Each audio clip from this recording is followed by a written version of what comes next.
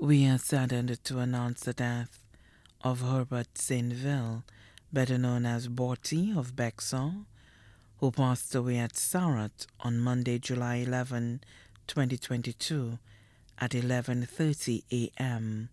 He was 80 years old. The funeral arrangements for the late Herbert St. Ville, better known as Borty, will be announced in a subsequent broadcast. His body now lies at Rambali Parlor, Calvary Road, Castries.